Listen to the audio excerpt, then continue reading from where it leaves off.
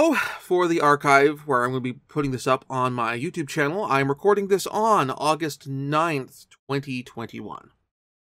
Um,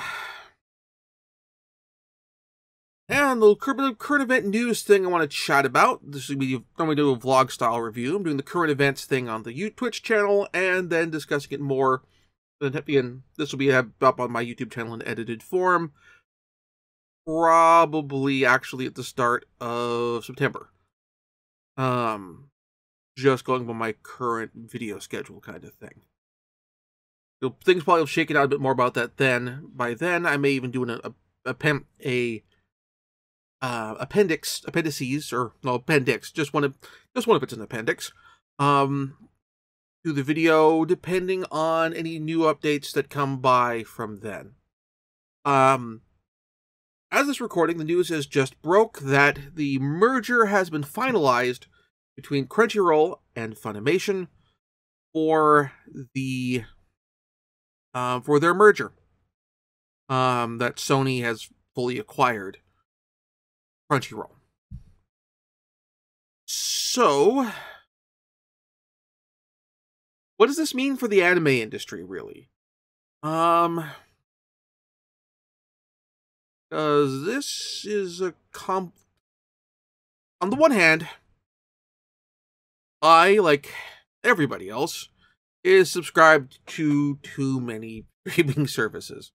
Um, I'm subscribed to pretty much all the anime services. Uh, Crunchyroll, Funimation, YouTube, uh, Crunchyroll, Funimation, um, HIDIVE, Netflix, and uh, Retro Crush.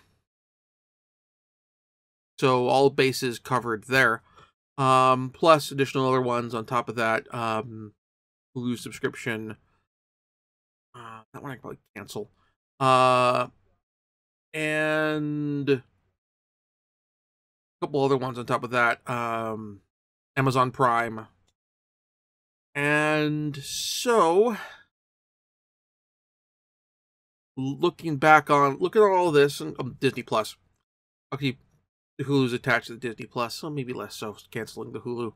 Um, but so where with where we're at now, um, we've gone from uh three slash four major anime streaming services to two yeah two two two slash three depending how you want to count retro crush in this and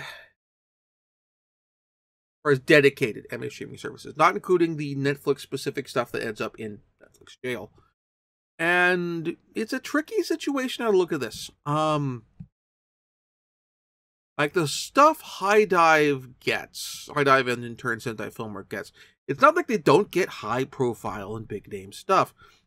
Though admittedly, a lot of the stuff that they've gotten, which they've later released physically, has also been stuff that's been um like from come off of Amazon and that sort of thing. Like for example, uh with the upcoming release with a dub of Vinland Saga. And that sort of thing. And otherwise, you've got Crunchyroll licensing some stuff, you've got Funimation licensing other stuff for streaming, and even then, like some of the stuff that Sentai was picking up was stuff that was licensed by Crunchyroll, but Funimation elected not to pick up for physical distribution. And this begs the question of what happens when everything's, you know, all in house. And that, like, in that regard, like, not everything, everything, but like, on the one hand, Sony slash Funimation has not been shy with sub-licensing their content out to other streaming services as well to make it available in other places. In terms of Funimation, in terms of uh, Funimation stuff like Demon Slayer and that sort of thing showing up on Netflix. Ultimately, they want you to show, they want you to watch their stuff. If they watch, if you watch another streaming service, that's okay. They get, they still get paid for that, and they have the physical side of things. So if you decide to fork over the money for a more pricey Aniplex um, box set of Demon Slayer, they cool with that too. In fact, if seeing the Netflix version is what pushes you over into doing that for um, for admittedly either for Demon Slayer or for uh, Fate Apocrypha or any of that sort of stuff, they are perfectly fine with that. They are oh like in whatever avenue they get our money, they are okay with that. Even if it and if it means partnering with the other company, that's fine too. So this isn't going to cause all of Funimation stuff to sudden Funimation, if all Funimation stuff suddenly just disappear off of Netflix. Example. I it's certainly like not just like in a oh but not yet sense, maybe later, but like not at all. And on the one hand, of my having a limited budget, I don't fault have like I, I there's part of me that goes I I don't mind having a situation where I don't have to spend quite as much money. Like, oh, I'm that's another ten bucks or fifteen bucks or whatever a month less that I'm spending on streaming, um, because these two services are combined. On the one hand, on the other hand, competition is good. Competition is great. You having competition is nice. Um,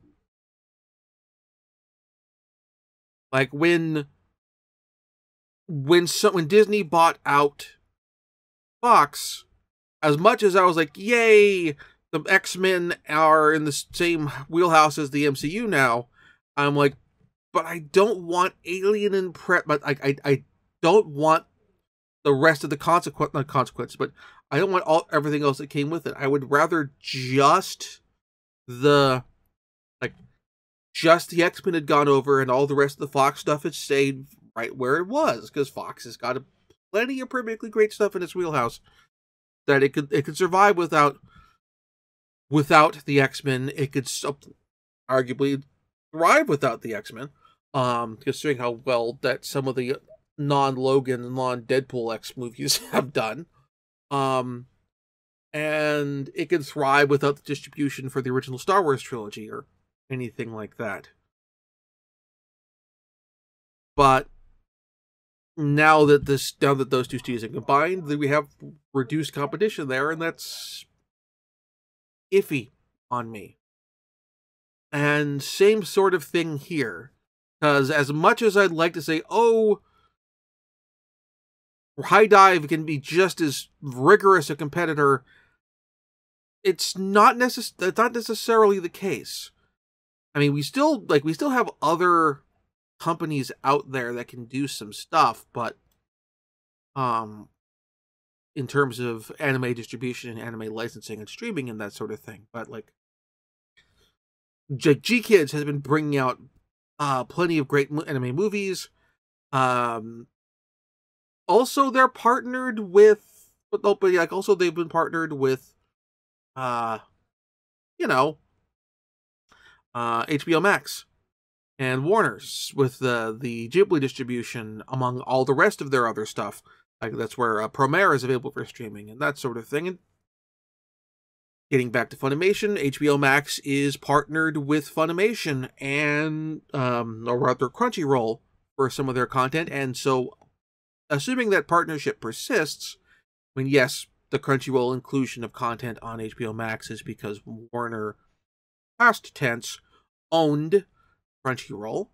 That is no longer the case now. So what happens going forward with that chunk too? Does the um forgive my wiggly fingers um I try to appropriately just gesticulate the flow of information and relationships between various interested parties with the Warner and Crunchyroll relationship gone does the anime on Crunchy on Funimation or the, the anime on HBO Max go away certainly for Crunchyroll, I don't think they'd mind have having that relationship remain. Having having anime on a mainstream streaming outlet that lots of people are already subscribing to, be it Funimation, be it uh like not Funimation, but being be it Netflix, Hulu, or HBO Max, that benefits the anime industry as a whole normally. But on the other hand, if Warner is like, eh, this this this doesn't actually benefit us that much anymore. We were keeping it on there as an advertisement to, to promote our Crunchyroll brand, and that brand's not our brand, so we're paying that money to somebody else. So why should we bother? Maybe we shouldn't like. That's like that's another question for what's going to happen. Uh what about Crunchyroll and Funimation as separate sites and separate apps? The Crunchyroll app has gen like the site is in a very very recent redesign. Um, I actually kind of like it a lot. Um, and their player has gotten an overhaul, which has, I would argue, is a significant improvement on what they've had before. And all of this combined is better than the garbage that's on the Funimation website. Um, related to speaking of players, um, like actually, but yeah, like first off, is the Crunchyroll player like are they going to implement that Funimation site and use the Crunchyroll site kind of roll things over into that? Um, they're better player and that sort of thing, or never the twain shall meet, or God forbid we all get the Funimation website, and the Funimation player, and with that the Crunchyroll news site gets the axe. And on top of that, I'm going, back to HIDIVE, the distinguished competition, relatively distinguished. There are, on the one hand, their player has functionality that's neat, with the ability to, with them basically having jumped on board and the whole idea of, hey, let's party watch with people before this was a before was a thing we needed to do because we were in quarantine and none of us can see or talk to each other, and we were all desperate for any form of social interaction. Uh, but otherwise, their play while their player on the website is all right, that player on apps, on your television, through uh, your console or your Chromecast, or even to an extent on your phone, uh, not so good. Um, I've had more than a few problems with the fun with the HIDIVE app, and so the question being is like, actually related to this is with high with like Funimation with those two streaming services combined.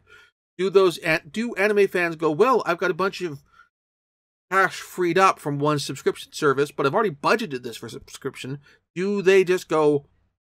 I'm just going to stick it in my pocket, maybe get a cup of coffee later? Or do they go, I've already budgeted this money for streaming services and anime in general. Do I send, do I take this to another streaming service? Do I go to Retro Crush or HIDIVE? Um, and do all of a sudden the comp does one of these two competing services get an inflush of cat inflush of cash from the from this ideal situation if we're assuming for the moment that, that we still have to have the streaming serv have streaming service merger go forward, that Crunchyroll and Funimation must gattai. The my my ideal situation would be that that money goes to another streaming that we get a price hike or price drop on Funimation Crunchyroll where it's like okay we're all we're all one happy family with all paying common amounts of money. So we're going to roll everyone over to a combined subscription plan where it's like a little more than what you're paying for one of them, but not um paying for one of them, but not as much as you're paying for for both. Like for example, say one's on a seven dollar plan, one's on a twelve dollar plan. We're we're gonna roll all these together into a ten dollar plan um, split the difference more or less, and and then and that way, if you're just a Crunchyroll subscriber and you have um, like you're paying uh, three bucks more, but you also have access to all the Funimation content. Um, if you're a just a Funimation subscriber, you're paying 12, you're getting two bucks less, but you're getting all the Crunchyroll content. And if you're subscribed to both, you are saving seven bucks a month. Or you are saving not seven bucks a month. You're saving nine bucks a month, which you can then take and do something else with. And ideal situation with this is that money goes to if you're not subscribed to HIDIVE already, you're not subscribed, you're not, on the subscription plan for RetroCrush already. I go, okay, I'm putting that money into HIDIVE. I'm putting that money into RetroCrush. I'm gonna go to HIDIVE and watch Votoms and Legend of the Galactic Heroes and Patlabor and uh um Vampire Hunter D, the original, and all this stuff they got on there, new stuff, old stuff, and it's great. And they get an influx of cash and go, okay, we're going to use this money and we're going to fix our player on the apps, and we're going to use this to license additional content and be while not overstretching ourselves and make ourselves a more real competitor to Funimation and Crunchyroll or it goes to Retro Crush and it goes, okay, we're going to make sure that some of these streaming subscriptions we have for this older stuff lasts longer, and we'll have some more extended partnerships with Discotek and other services and other and other older labels, so that, for example, we can have as a hypothetical scenario here, um, the new Discotek Gunbuster OVA release available for streaming on the site for longer, or even we'll have stuff in HD. Um, we'll have the Gunbuster release in 1080p um, instead of a standard definition or lower definition release, that sort of thing. So that's, but I, the problem is we, the na- this is the nature of the beast when it comes to mergers, particularly of in particularly mergers in niche in niche fields, is you can never really be sure that that'll be the case.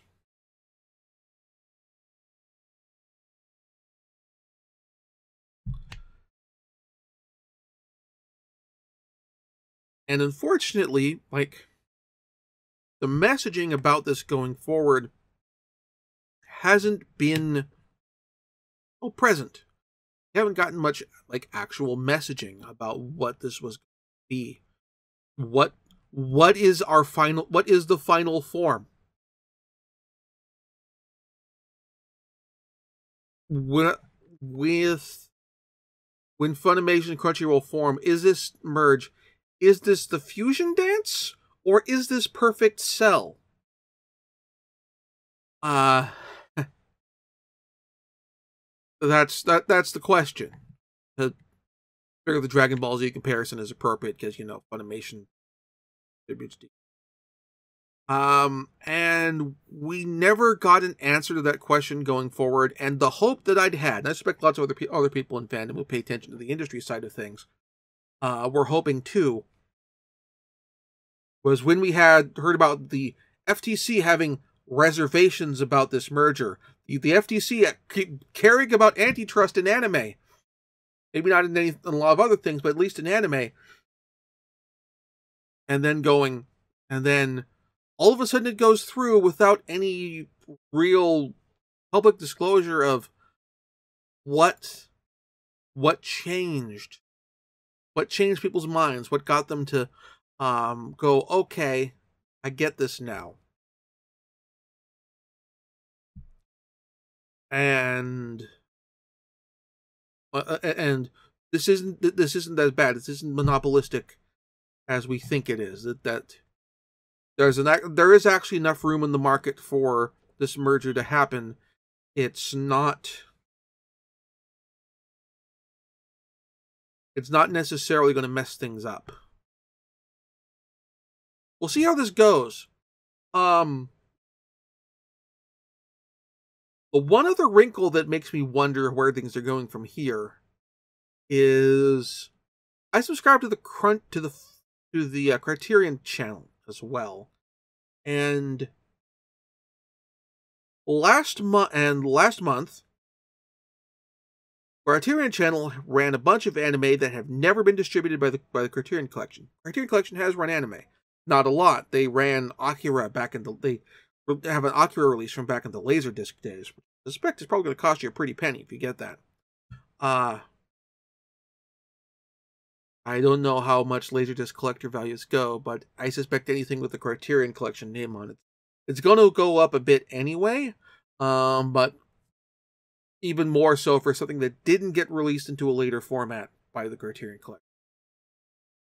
So in any case, they were they they had for streaming a bunch of anime, um, some Satoshi Kon, mainly Paprika and Millennium Actress, or to put it another way, the Satoshi Kon films that that if you're going to tell somebody who's a big cinephile what to watch, you you'd actually tell them to watch Perfect Blue, but you'd probably also mention those two because there's a selection of cinephiles that are suckers for or um are yep suckers. Are are suckers for movies about making movies but not like metatextual movies about film but not in a um Shirobako informa- informative and instructional se- and educational sense?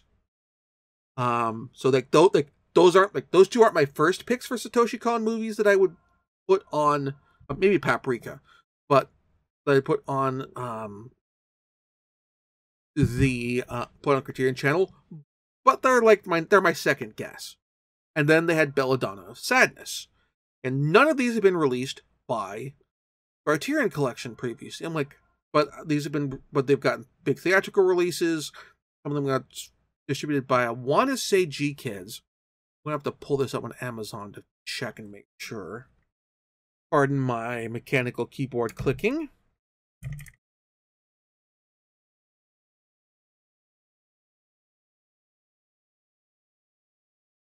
Belladonna of Sadness Blu-ray release was from no, it's from a it's not from uh GKIDS. That's from um Cinelicious Pics. I'd never even heard of them before.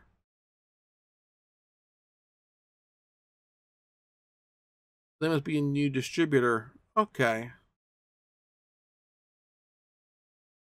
You know, they did Belladonna of Sadness. They did Funeral Parade of Roses. That's a that's a live action drama. Uh.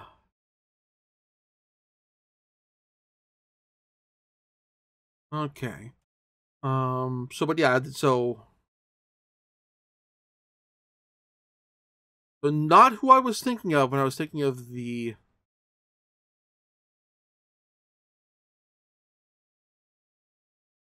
uh the distributor of this. I thought that was a GKIDS.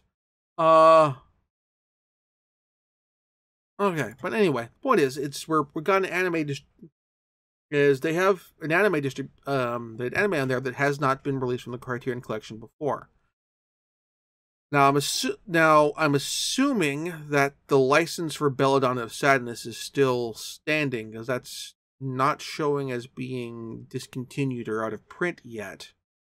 Um, and certainly Belladonna Sadness like would fit the Criterion Collection because it's, a very looking at some of the stills here, it's a very surreal film in a lot of respects. Um, particularly compared to some of the other films that's of the um the same sort of series, for lack of a better term, that Belladonna of Sadness was in uh, Animerama trilogy Tezuka produced. Uh, the, the the Apache anime, much more out there. That, um, but on the other hand, like Paprika, like the current, so that one still licensed and in print, and that's Sony.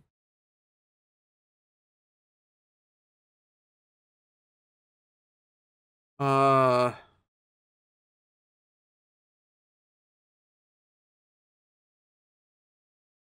and Millennium Actress, I want to say is GKIDS.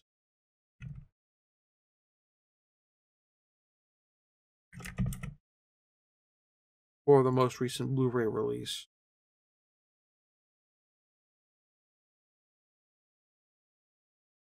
That's Shout Factory. Okay. Um, but like all of these feel like works that is it Shout Factory who's doing the? Okay, so.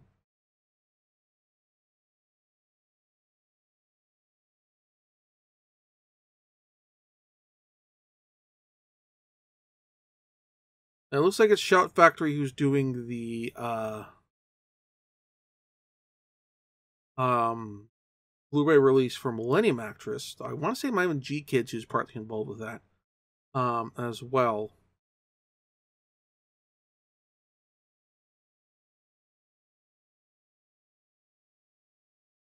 In any case, um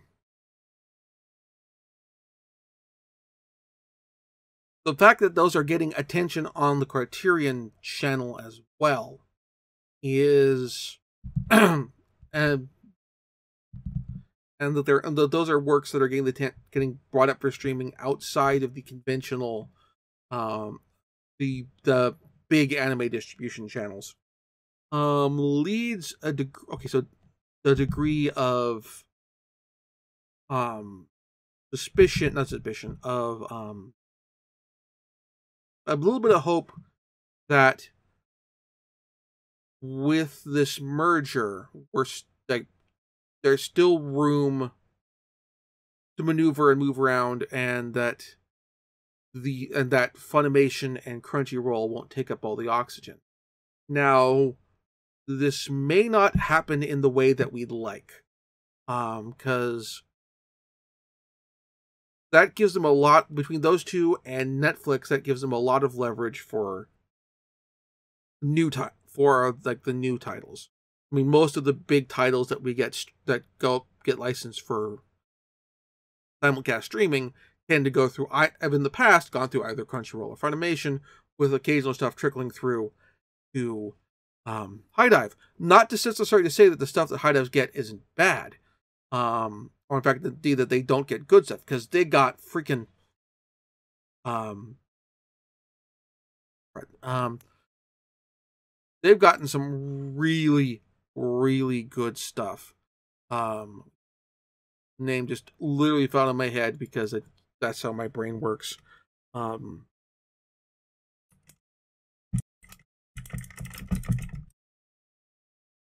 oh, Maidens in Your Savage Season.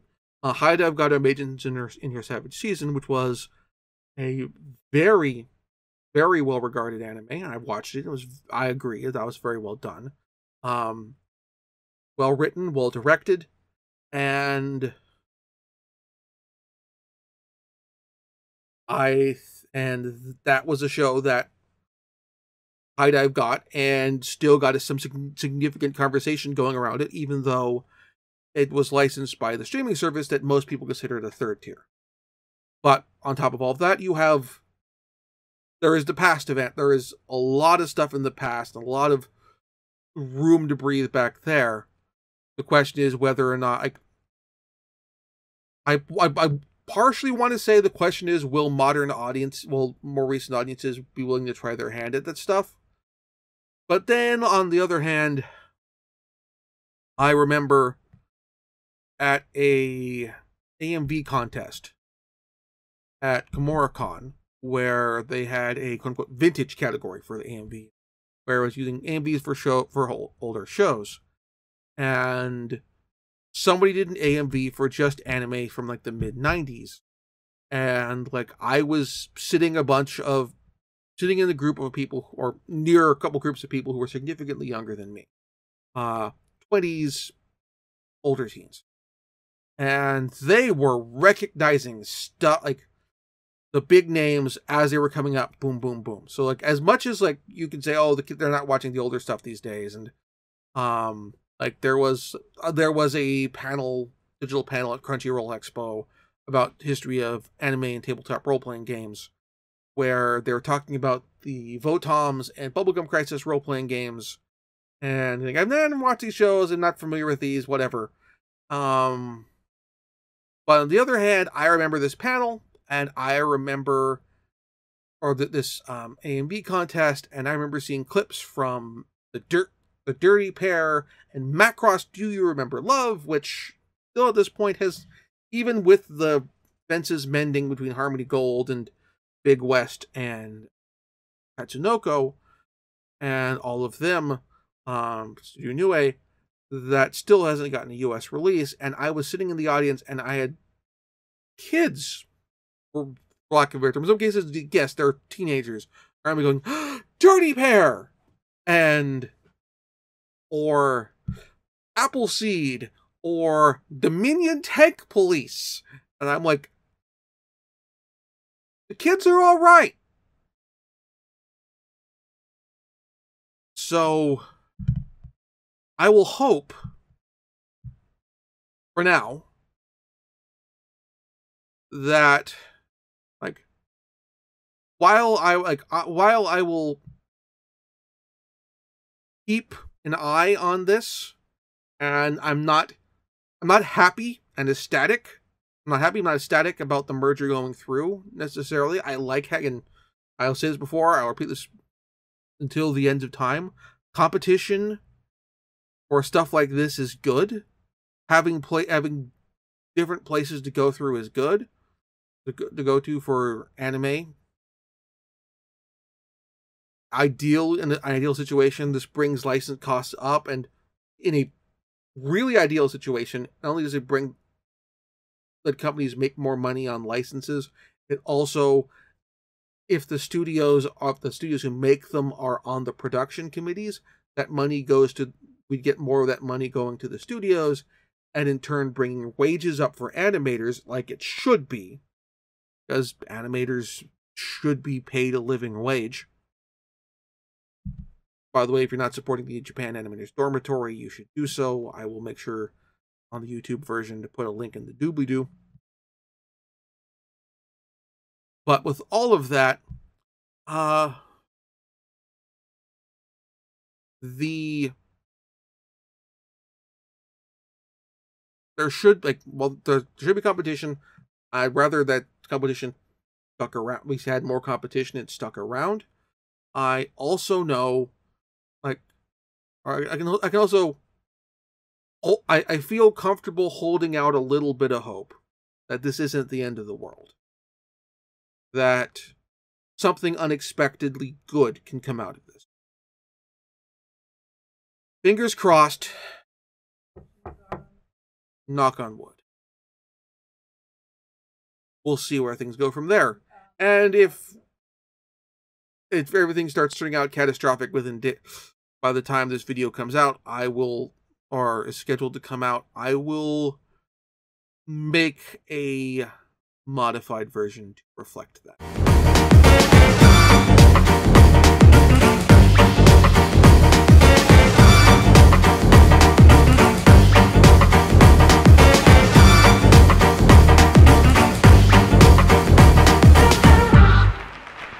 Thank you very much for watching. If you enjoyed the show, please like and subscribe. And also consider backing my Patreon. Patreon backers get episodes up to one week early of this show and any future Let's Plays. Also, please consider backing my Ko-fi. Uh, toss me a few bucks also helps support the show, and it's not a monthly obligation or anything like that.